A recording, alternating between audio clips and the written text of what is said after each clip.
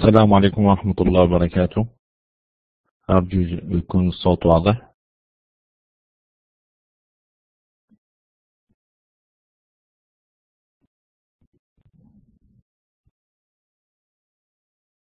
هل الصوت واضح؟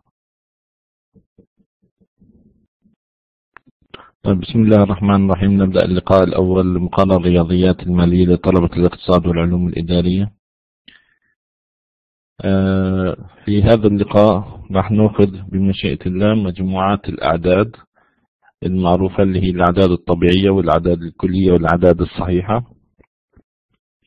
ونشوف هذه الأعداد شو رموزها من إيش تتكون كيف ممكن تيجي الأسئلة عليها بالإضافة إلى بعض المصطلحات زي المجموعة الجزئية الخالية والانتماء بهذا الشكل. طيب أنا بس أنتظر إنه ينعمل share لل PowerPoint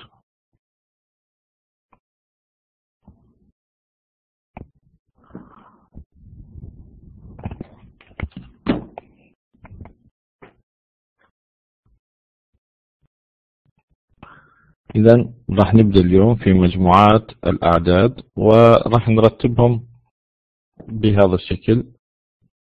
مجموعات الأعداد. في عندي مجموعات للأعداد آه، مشهورة آه، وهي كالتالي. في عندي الأعداد الطبيعية مجموعة الأعداد الطبيعية. أول مجموعة راح نأخذها مجموعة الأعداد الطبيعية. وهذه بتبدأ في صفحة عشرة من الكتاب. آه هذه مجموعة الأعداد الطبيعية نرمز لها بالرمز N بهذا الشكل. وتحتوي هذه مجموعة الأعداد الطبيعية على الأرقام التالية. إذا الآن المجموعة N تحتوي. طبعا القوس تبع المجموعة بهذا الشكل يكتب. وداخله الأعداد اللي خلينا نحكي اللي تنتمي لهذه المجموعة بيناتهم فواصل. فمجموعة الأعداد الطبيعية هي واحد واثنين وثلاث وأربعة وخمسة إلى ما لا نهاية. لاحظوا أن هذه المجموعة لا تحتوي على الأعداد السالبة لا تحتوي على الكسور لا تحتوي على الصفر. فقط الأعداد اللي بدون فواصل عشرية بدون ما يكون عندي فواصل عشرية. لاحظوا عدد مثل ما هو بدون أي كسور. طيب هذه مجموعة الأعداد الطبيعية. أما مجموعة الأعداد الكلية اللي هي نرمز لها بالرمز W rule number وتحتوي على نفس عناصر الأعداد الطبيعية لكن بالإضافة إلى الصفر. يعني صفر واحد اثنين ثلاث أربعة خمسة إلى آخره.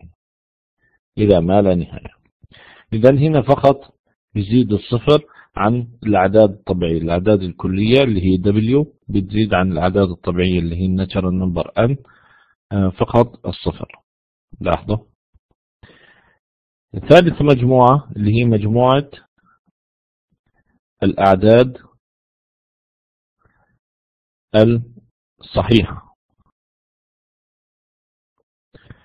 ونرمز لها بالرمز Z وهذه تحتوي على أيضا بدون فواصل عشرية لكن شو تحتوي؟ تحتوي على السالب والموجب والصفر. يعني مثلا سالب أربعة سالب ثلاث سالب اثنين سالب واحد الصفر الواحد اثنين ثلاثة أربعة.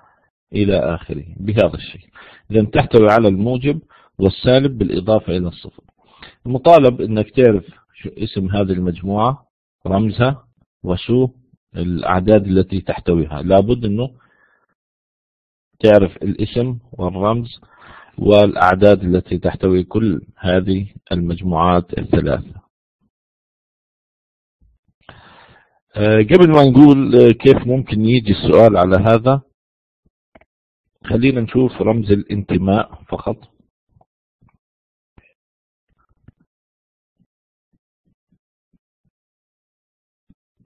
الانتماء و الانتماء وهذا الرمز هو عبارة عن زي حرف السين لكن بالنص برضه خط بهذا الشكل.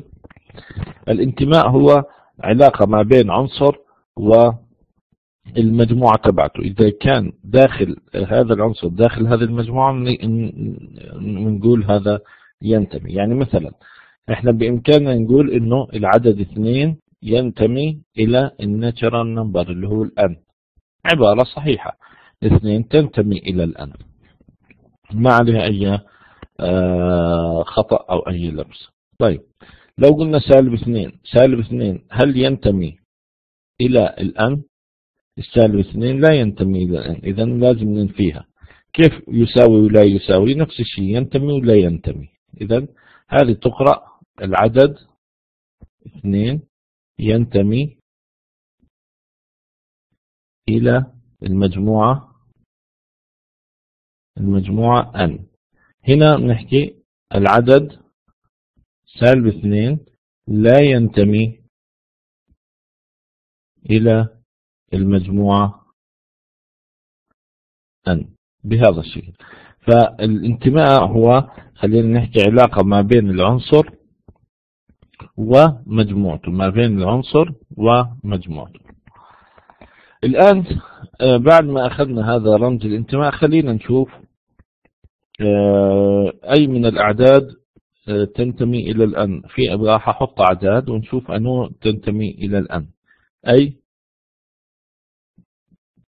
من الأعداد التالية تنتمي إلى المجموعة أن. المجموعة أن اللي هي مجموعة الأعداد الطبيعية. ونحط آه على سبيل المثال واحد العدد خمسة اثنين العدد آه عفوا. واحد فاصلة خمسة ثلاث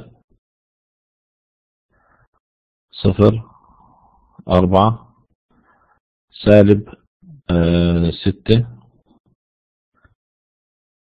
خمسة آه خلينا نقول خمستاش على خمسة ستة جذر الأربعة. سبعة. سالب. ستة على اثنين. ثمانية. سبعة على أربعة عشر بهذا الشكل. نشوف أنه من الأعداد التالية ينتمي إلى المجموعة الأعداد الطبيعية أن ومين لا ينتمي. قبل ما نقول ينتمي ولا ينتمي ونقعد نفتي إنه هذا ينتمي هذا لا ينتمي أحب إنه أقول لكم ممنوع تحكم على العدد سواء كسر أو جذر أو شو ما كان إلا بعد تبسيطه لأبسط صورة. يعني لابد أنه نبسطه بعدين نحكم عليه ما نحكم عليه من الشكل. يعني كيف؟ مثلا مثلا هنا هنا لو نرجع هنا. على سبيل المثال لو قلت مثلا 20 على 2 20 على 2 هذا كسر مباشرة. راح تقول لي لا ينتمي لا خطأ. حتى لو شكله كسر نعم حتى لو شكله كسر. ما بيصير أحكم عليه مباشرة إنه والله لأنه وجود البسط والمقام خلص هذا لا ينتمي. لا هذا لو جينا بالآلة الحاسبة 20 على 2 راح يكون الناتج 10 أنا بدور على الناتج النهائي الصورة النهائية للعدد لأنه 20 على 2 يساوي 10 يساوي. شو يعني يساوي؟ يعني هذا العدد وهذا العدد نفسه. مو والله مختلفين. نقول والله 20 على 2 لا لا ينتمي. ليه؟ والله لأنه في بسط ومقام. لا. ما في بسط ومقام هنا. إذا بسطنا العدد لأبسط صورة ما راح يكون في عندي بسط ومقام راح يكون عندي عدد ونقول هذا ينتمي إلى N. أيضا هذا ينتمي إلى ال W. نفس العشرة ينتمي إلى ال W. وأيضا العشرة تنتمي إلى ال Z. تنتمي إلى ثلاث مجموعات. العشرة موجود داخل الأن والعشرة أيضا موجود داخل الدبليو والعشرة موجود أيضا داخل الزد. نفس المبدأ الجذر. الجذر مثلا نقول والله على سبيل المثال 25 جذر 25 جذر 25 خمسة أنا ما أدور والله إنه والله في جذر خلاص لا ينتمي. لا.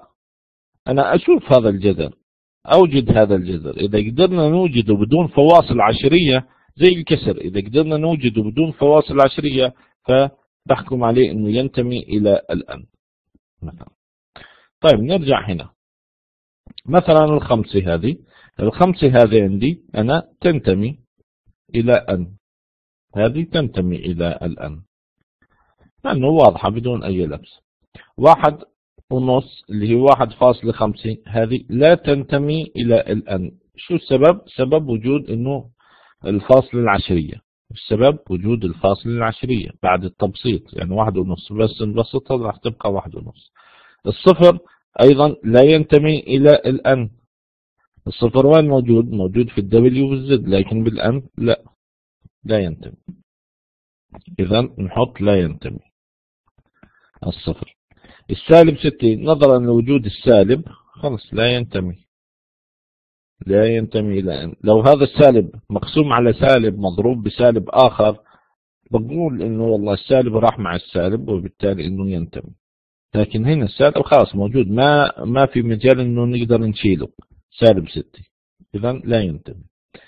نيجي هنا 15 على 5 15 على 5 بعد التبسيط تساوي لي 3 والثلاث تنتمي إلى الأن بهذا الشكل.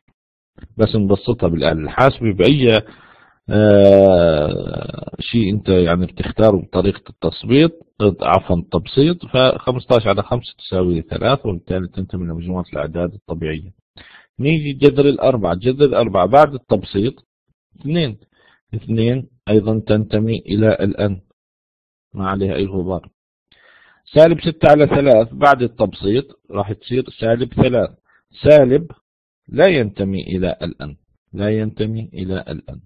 أنا كلياته هنا السؤال بدور على ال N فقط. لو دو لو قال لي W بشوف ال W ولو قال لي Z بشوف ال Z لأنه ال Z يحتوي على سالب. لكن الأن لا يحتوي على سالب. وهكذا.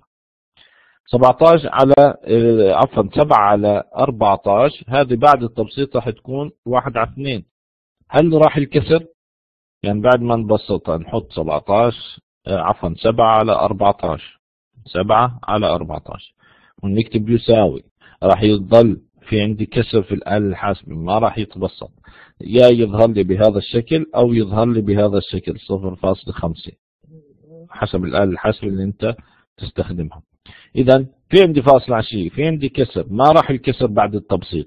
إذا لا ينتمي إلى أن. إذا أهم شيء إنه أبسط الكسر أو أبسط الجذر بعدين أحكم إنه ينتمي أو لا ينتمي.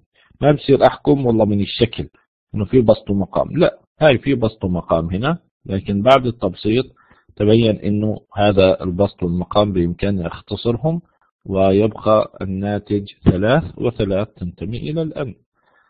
هذا نفس الشيء. لو قلنا إنه ناقشه على الدبليو. يعني مثلا لو قلنا هذا ناقشه على الزد. خلينا على الزد. آه، أي من الأعداد التالية تنتمي إلى المجموعة زد. هاي زد. وخلينا نحط الجواب باللون الأخضر. أول شيء ناقشنا أن. خلينا الآن نناقش الزد. برضو الخمسة تنتمي إلى الزد. نفس الشيء. هذا العدد ينتمي إلى الزد اللي هو خمسة. الواحد ونص هذا لا ينتمي إلى الزد. لأنه في الفاصلة عشرية أهم شيء الفاصلة العشرية وجودها بعد التبسيط لا مو... هذا العدد لا موجود في الأن ولا في الدبليو ولا في الزد. الصفر موجود في الزد ينتمي إلى الزد اللي هي مجموعة الأعداد الصحيحة. مجموعة الأعداد الصحيحة. أنا هنا أتكلم. لاحظوا أنا حطيت في البداية الأعداد. هذه ال N هذه ال W وهذه الزد الزد بيحتوي على السالب وعلى الموجب وعلى الصفر. هذا بيحتوي على الموجب الدبليو والصفر. هذا فقط الأعداد الموجب بدون فواصل عشرية. خلينا نكمل. السالب لا السالب 6 موجود في الزد. إذا ينتمي إلى الزد. لاحظ الفرق. هذا بعد التبسيط يساوي لي ثلاث والثلاث موجود داخل أيضا الزد. الاثنين أيضا موجود داخل الزد ينتمي إلى الزد. السالب ثلاث تنتمي إلى الزد.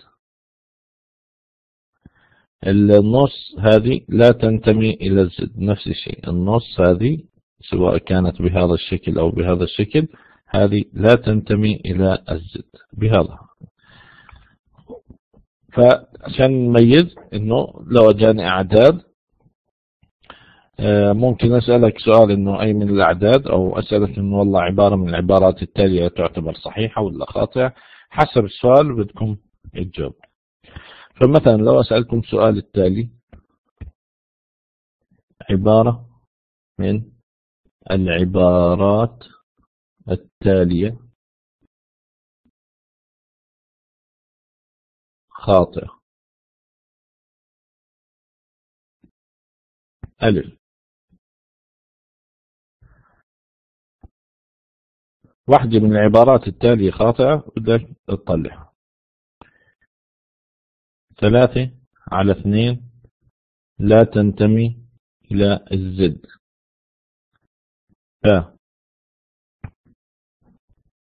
سالب 12 على ثلاث. لا تنتمي إلى الأن. جيم. جذر الخمسة. لا ينتمي إلى الزد. دال جذر الستاش لا ينتمي إلى الأن واحدة من العبارات التالية تعتبر خاطئة. طلعوا لي ألف باء جيم دال أي واحدة منهم؟ تمعن بالعبارة وشوف إنه هل هاي العبارة صحيحة ولا غير صحيحة وانتقل عن لحد ما توجد الخاطئة. طيب. الأغلب جاوب عندي أنا دال في جيم.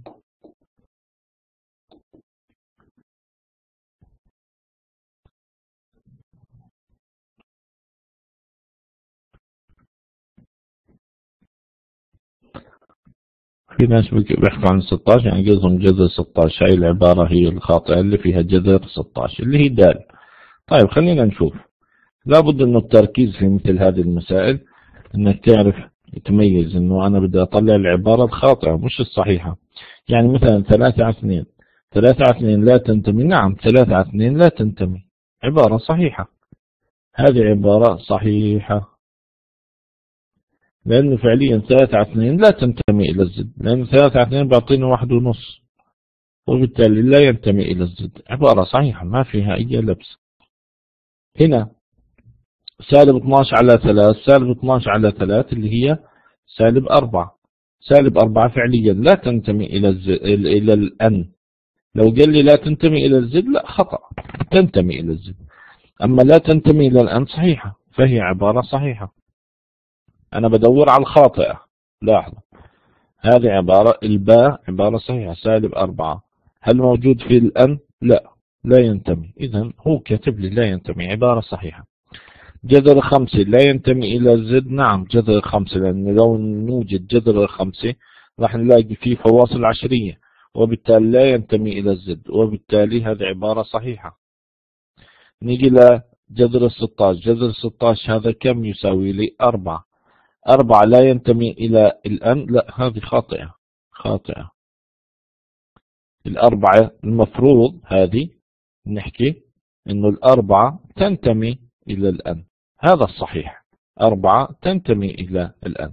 وبالتالي العبارة الخاطئة هي دال. كلياتهم صحيحات ما عدا دال تعتبر عبارة خاطئة.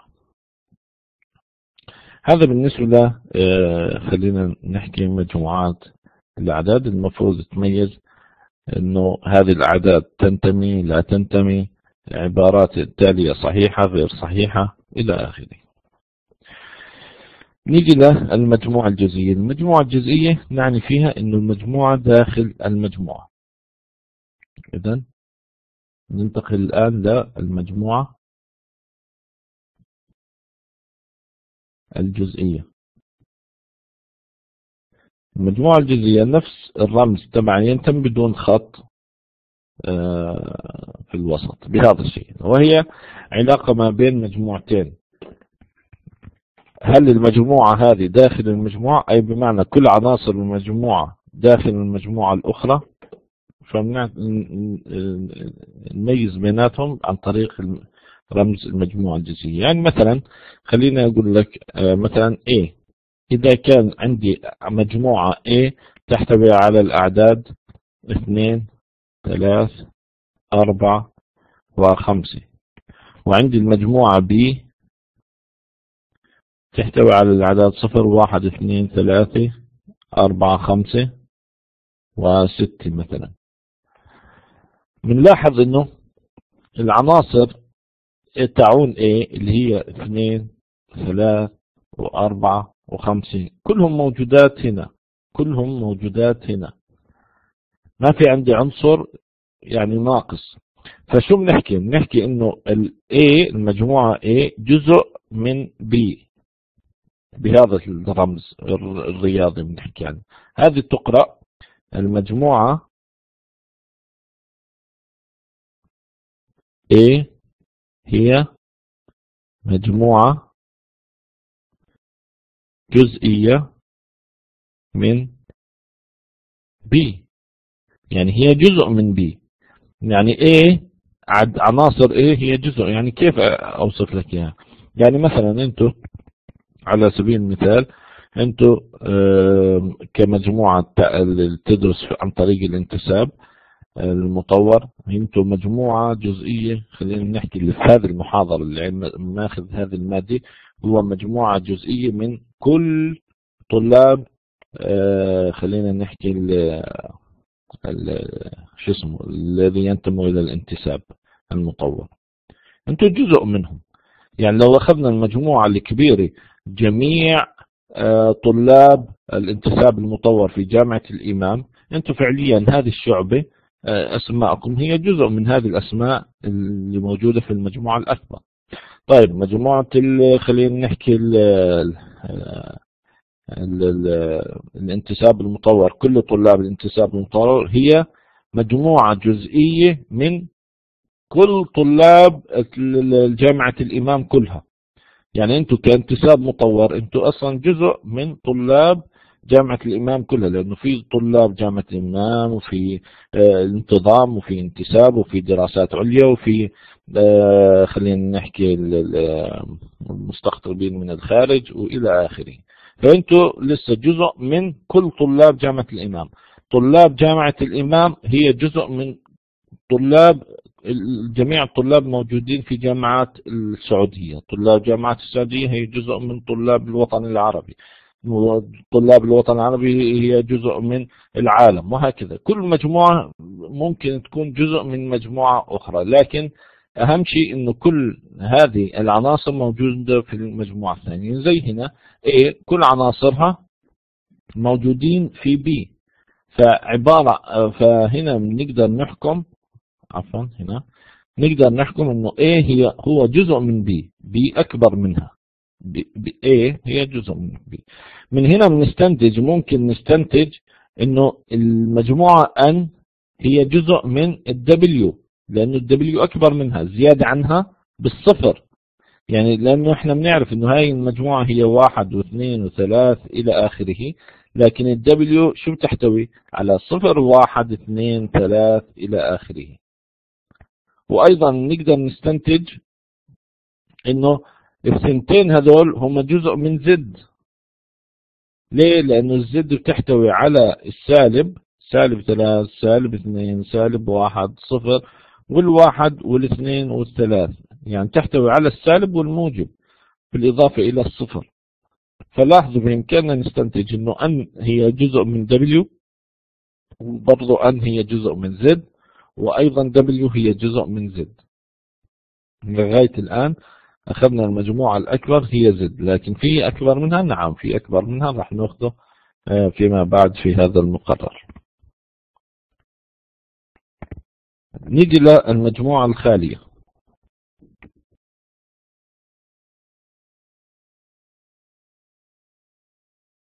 المجموعة الخالية وعادة بنرمزوا لها إما بفاي أو بيفتحوا قوس المجموعة بسكروه بدون ما يحطوا فيه ولا عنصر.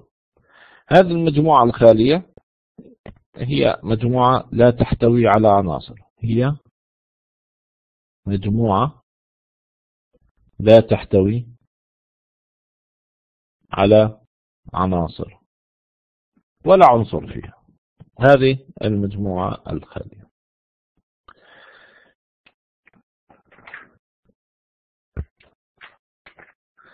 في عندي طرق التعبير عن المجموعات اللي هو بيبدأ في صفحة 11 وبنتهي في صفحة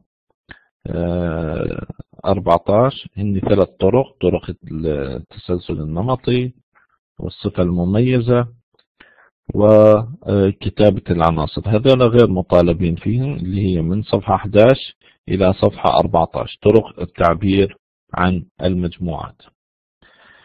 الآن راح ننتقل لشيء بنسميه جبر المجموعات. جبر المجموعات. وراح نأخذ آه، شيئين مهمين في جبر المجموعات اللي هو الاتحاد والتقاطع راح نبدأ في الاتحاد.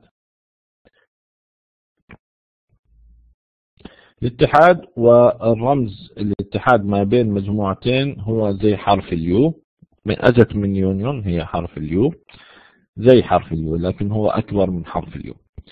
وهو عبارة عن إنه المجموعة الناتجة من الاتحاد هي بتضم كل مجموعات المجموعة الأولى والمجموعة الثانية. يعني لو بدنا نعمل اتحاد ما بين مجموعتين A و B فالناتج راح يكون كل عناصر A وكل عناصر B بنحطهم في مجموعة واحدة بنوحدهم من اسمها اتحاد. بنوحدهم في مجموعة واحدة لكن دون تكرار العناصر. يعني إذا هنا مع سبيل المثال موجود ثلاث وثلاث نكتب العدد ثلاث مرة واحدة ما بنقدر نكتب الثلاث أكثر من مرة. خلينا نشوف مثال.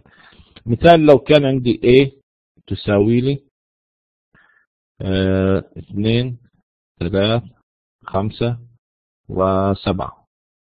وعندي B تساوي لي صفر خمسة وثمانية وعشرة مثلا.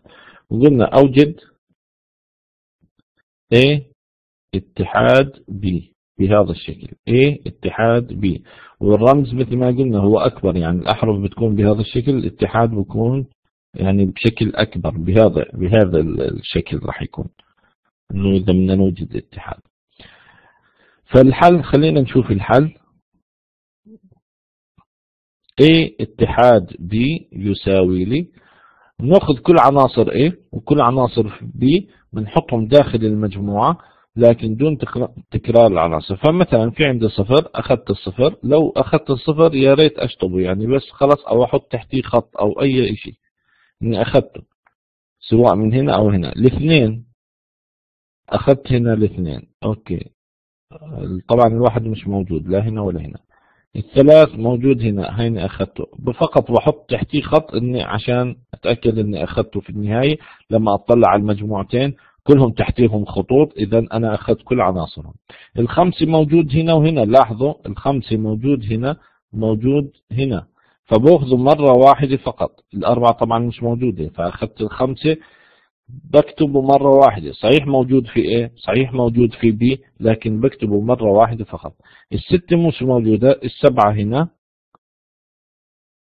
ثمانية موجودة هنا نأخذها. التسعة مش موجودة هنا عشرة نأخذ العشرة. ففعليا عملية الاتحاد هي خذ كل عناصر A خذ كل عناصر B حطهم في مجموعة واحدة. مو شرط الترتيب يعني أنا هنا برتب صفر اثنين ثلاث يعني برتب تصاعدي من الصغير للكبير. هذا بس عشان يريحني لكن مو شرط الترتيب داخل المجموعات يعني ممكن يكون مثلا نبدأ بالرقم ثمانية ثم ننتقل للصفر بعدين للعشرة ثم نرجع للاثنين. عادي ما في أي مشكلة يعني. لكن كون عندكم أنتم الأسئلة كلها اختر الإجابة الصحيحة. وبدك تظلل على الرمز الصحيح فراح يكون عندك الإجابات فعليا مرتبة من الصغير للكبير الأرقام من الصغير للكبير. فبدك تشوف الدائرة الصح أو الخيار الصح وتختاره وتظلله خلينا نشوف كيف ممكن يجيك سؤال. ممكن يجيك سؤال. اتحاد المجموعة A تساوي لي صفر واحد ثلاث خمسة. والمجموعة B اللي هي تساوي لي واحد واثنين ثلاثة. وأربعة وثمانية. اتحاد المجموعة عفوا A والمجموعة B. هي المجموعة. هل ألف اتحاد B يعني بما معناه هل A اتحاد B يساوي ألف؟ ثلاثة. وأربعة وخمسة وثمانية. هل يساوي لي ثلاث وثمانية؟ جيم هل يساوي لي صفر واحد اثنين ثلاث أربعة خمسة ثمانية؟ هل يساوي لي واحد ثلاث و فقط. خلينا نشوف إجاباتكم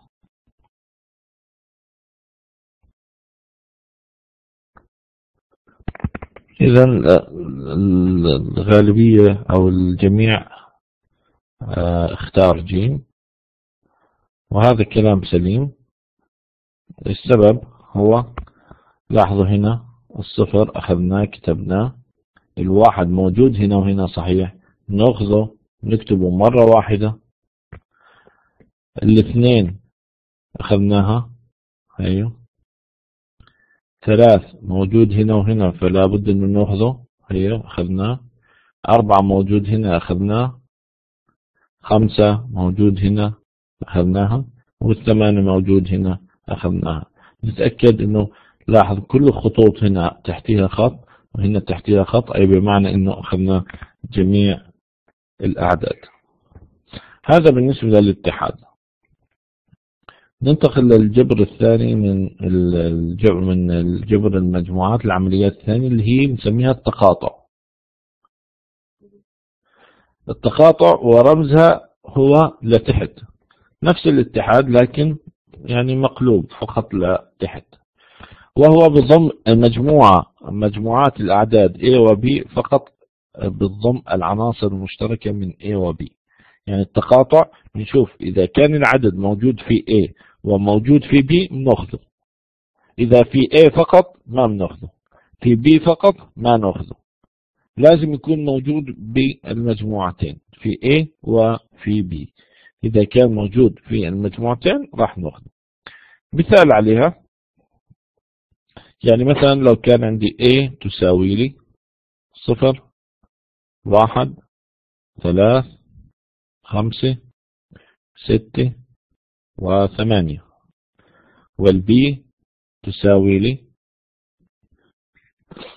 اثنين أربعة خمسة سبعة ثمانية وتسعة. بهذا الشكل. قلنا لك أوجد A تقاطع A تقاطع B نشوف الحل. A تقاطع B راح يكون كالتالي. نمسك عدد عدد. الصفر ما يتاخذ. ليه؟ لأنه موجود فقط في A فما بنأخذه. الصفر ما ناخذه الواحد فقط موجود في A ما ناخذ الواحد. شطبنا عليه. حلو الاثنين الاثنين ما تتاخذ. ليه؟ لأنه فقط موجود في بي الثلاث أيضا ما تتاخذ موجودة فقط في A. أربعة موجودة فقط في B. بنلاحظ خمسة موجود فقط هنا وهنا.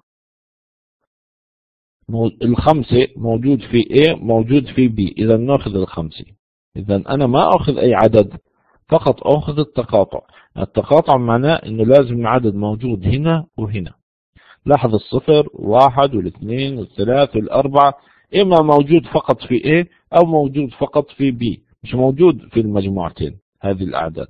عشان كذا ما أخذتها أما الخمسة موجود هنا وموجود هنا فنأخذها نكمل. الستة أيضا ما أخذها موجودة فقط في A. السبعة موجودة فقط في B. الثمانية نلاحظ أنه موجودة هنا وهنا. فنأخذ الثمانية أخذنا الثمانية. التسعة نشطبها.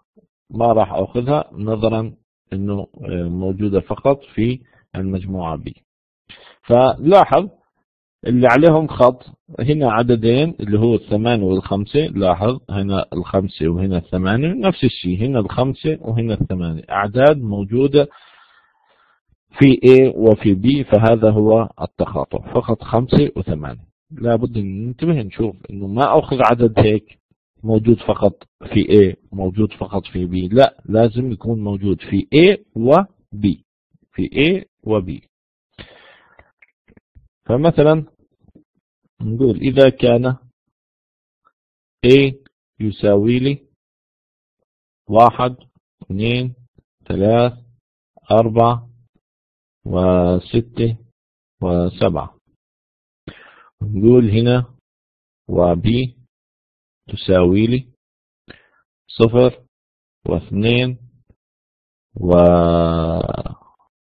وخمسة وستة وسبعة وثمانية بهذا الشكل. نقول لك أوجد فإن A تقاطع B يساوي يعني أوجد A تقاطع B ونحط لك الخيارات. ألف. هل A تقاطع B راح يكون؟ الاثنين و الستة والسبعة والثمانية. هل راح يكون الاثنين والستة والسبعة؟ جيم. هل راح يكون صفر واحد اثنين ثلاث أربعة خمسة ستة سبعة ثمانية. دال. هل راح يكون فاي؟ فاي يعني مجموعة خالية أي ما في عنصر نهائي. التقاطع فاي يعني ما في أي عنصر. خلينا نشوف إجاباتكم.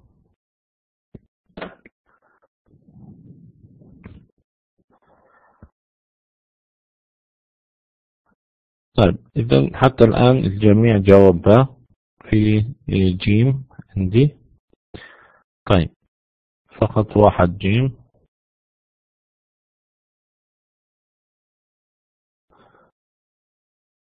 طيب إذا جميع الأجوبة تقريبا الإجابة الصحيحة طبعا باء وليس جيم. جيم هو الاتحاد. يعني جيم لو قلت لك أوجد A اتحاد B أوكي جيم صحيحة. لكن جيم خطأ. أنا بدي أوجد أنا ما بدي A اتحاد B أنا بدي التقاطع. لاحظ شو طالب؟ فلا بد أنه نميز بيناتهم. نشوف المجموعة هنا. عندي الصفر ما ما نأخذها لأنه موجودة في B الواحد ما نأخذها. الاثنين طبعا نأخذها. موجودة هنا وهنا. آه، الأربعة ما نأخذها. الخمسة لأ. الستة نعم موجودة والثلاث طبعا ما نأخذها لأنه موجودة الثلاث والأربعة والخمسة. موجودة يا في A يا في B فقط مش موجودة في A و B. أما الستة لاحظوا أنه موجودة في A و B حطينا تحتها خط السبعة برضه موجودة في A و B الثمانية فقط في B. إذا شو الأعداد اللي تحتها خط؟ اثنين ستة سبعة اللي هي B. لو ما كان في عندي أعداد مشتركة ما بيناتهم فبنحط phi phi. اللي هي مثلا لو كانت A آه، تساوي لي واحد وثلاثة وأربعة ومثلا ثمانية و B تساوي لي صفر واثنين وستة وتسعة مثلا. ف A تقاطع B شو راح يكون؟ A تقاطع B راح يكون phi. ليه phi؟ يعني ما في ولا عنصر يعني مجموعة خالية. ما في عندي عنصر يعني الواحد هنا ما بتقاطع مش موجود. الاثنين والصفر مش موجودات إلا في B الثلاث والاربع موجودات فقط في A الستة والتسعة فقط في ال B التسعة موجود فقط في A. ما, ما في عندي عنصر موجود في A موجود في B. وبالتالي راح يكون الناتج phi هذا ال phi إذا ال phi في حالة أنه التقاطع كان مجموعة خالية أي بمعنى ما في تقاطع. هذا فقط المطلوب منكم من الاتحاد. بشكل عام في تعاريف كثير يعني في تعريف للاتحاد في تعريف للتقاطع في تعريف للمجموعة الأعداد الصحيحة مجموعة الأعداد الكلية إلى آخره. التعريف بشكل عام في الاختبار ما باجي أقول لك عرف عدد آه، اذكر هذه الشغلات ما مو موجودة باختبارات الرياضيات عادة يعني ما تنجاب كلياته مثل ما أنتم شايفين حل مسائل آه، هذا ينتمي لا ينتمي هذه العبارة صحيحة غير صحيحة. آه، أوجد الاتحاد أوجد التقاطع يعني كون في محاضرتنا اليوم خلينا نقول. فما في عندك والله أذكر أقول لك عرف عدد من الأمور هذه؟ لا طبعا ما تيجي ففي جبر المجموعات مثل ما قلنا اللي هو بيبدأ في صفحة 14 أو بيبدأ في صفحة آه، سواء بالنسخة 2009 أو 2008 كله بتبدأ في صفحة 14 موجود تعريف للاتحاد وخصائص للاتحاد ما في داعي والله نحفظ الخصائص نحفظ التعريف مثل ما قلنا ما في داعي. عندي مثال أربعة صفحة 15 هذا مثال مهم على الاتحاد كويس إنه تذكروه مثال 14 وأيضا آه، في عندي تقاطع بيبدأ في صفحة 16 أو صفحة 15 حسب النسخة. برضو في التعريف وللتقاطع في خصائص التقاطع. هذه ما في داعي والله نحفظ آه، خصائص التقاطع ما في داعي نحفظ التعريف. مثال خمسي على التقاطع ممتاز لو ذاكروا صفحة 16 أو صفحة 15 مثال خمسة مثال ستة مطلوب منكم الفرع الأول والثاني. مثال ستة اللي هو صفحة 17 أو صفحة 16 مثال ستة صفحة 17 أو صفحة 16 أنا أحكي أو لأنه أنا عندي الكتاب نسختين 2009 و2008 2008 في أخطاء مطبوعية تعالجت في 2009 فقط أخطاء مطبوعية. أما الأرقام الأمثلة هي نفسها موجود في النسختين. فقط الفرق راح يكون بأرقام الصفحات. عشان كذا أقول مثال 6 هو موجود هنا وموجود هنا في النسختين من الكتاب. لكن مثال 6 ممكن يكون في صفحة خلينا نحكي في 2009 وتختلف عن صفحة اللي موجود في 2008 فمثال 6 مطالبين بالفرع الأول والثاني فقط. مثال 6 موجود إما في صفحة 17 أو صفحة 16 المجموعة الشاملة والمتممة اللي تبدأ في صفحة 17 بالنسختين آه هذا غير مطالبين فيه. وأشكال فين أيضا اللي هو في صفحة 19 غير مطالبين فيه بصفحة آه، 19 أو 18 إذا آه، مش مطالبين في مثال سبعة مثال سبعة محذوف اللي هو صفحة 18 مثال سبعة صفحة 18 غير مطالبين فيه. مع الدرس تبعه اللي هو خصائص آه، عفوا هو المجموعة الشاملة والمجموعة المتممة هذا غير مطالبين فيه.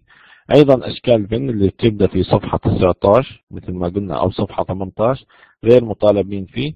مع مثال آه، الثماني مثال رقم ثمانية اللي هو في صفحة 20 أو صفحة 19 برضو غير مطالبين فيه. هذا بالنسبة لمحاضرة اليوم. آه، نتمنى تكونوا استفدتوا منها من هذه المحاضرة. آه، تقريبا يعني مبدأ المحاضرات راح يكون بهذا الشكل. درس نشرحه وقدر الإمكان نحط عليه تمارين آه، تحلوها.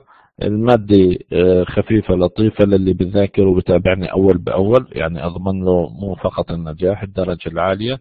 أما اللي بذاكر الرياضيات أو تتعالى على مادة الرياضيات برضو الرياضيات راح تتعالى عليه. هذه هي مشكلة الرياضيات. إذا ما مسكت ورقة وقلم واحترمت المادة المادة مستحيل يعني إنه خلينا نحكي تفهمها وتستوعبها وتحل في الاختبار خصوصا للي هذا الكلام للي بذاكر ليلة الاختبار قبل بيوم أو يومين. ما مستحيل الرياضيات مو هيك مواضيعها كثيرة. وعندك 40 سؤال يعني يعني خلينا نحكي 40 سؤال يعني بالمقابل مش أقل من 80 موضوع موجود في الكتاب لابد انه تذاكره وتتقنهم يعني على الأقل. آه، في بعض القوانين لابد من حفظها لغاية الآن ما أخذنا قوانين لسه ما أخذنا إحنا أخذنا قوانين. يعني هذه لا تسمى قوانين. هذه آه، خلينا نحكي تعريفات بسيطة. المفروض تفهمها فهم بدون ما إنه والله تحفظها عن ظهر غيب. خلينا نحكي. هذا بالنسبة للمادة. المادة أنا ذكرت الكتاب اسم الكتاب. دبروه وين ما كان في النت في تشتروه مستعمل جديد زي ما تحبوا. آه، موجود اسمه بالمنتدى وأيضا الاله الحاسبة اللي راح أستخدمها موجودة في المنتدى عشان ما حدا يقول لي أنا ما زبطت معي إلى آخره. لا الاله الحاسبة اللي أنا راح أستخدمها راح أشرح عليها. غير هيك يعني بدك تشوف آه، واحد يشرح لك على الاله الحاسبة تبعتك. آه هذا بالنسبة ل خلينا نحكي المقرر وأول محاضرة بالمقرر. المقرر هي هنا في مشكلة لسه بناخذ ونعطي فيها في العمادي لأن قللوا عدد الساعات المحاضرات الحقيقة. أصبحت واحدة فقط بالمقابل كانت ثنتين وهذا يعني آه، راح نحارب فيه إنه بحيث انه يزيدوا خلينا نحكي ساعات هذا المقرر إلى هنا نصل إن شاء الله إلى ختام هذا اللقاء. نترككم في رعاية الله. نلقاكم إن شاء الله الأسبوع المقبل. والسلام عليكم ورحمة الله وبركاته.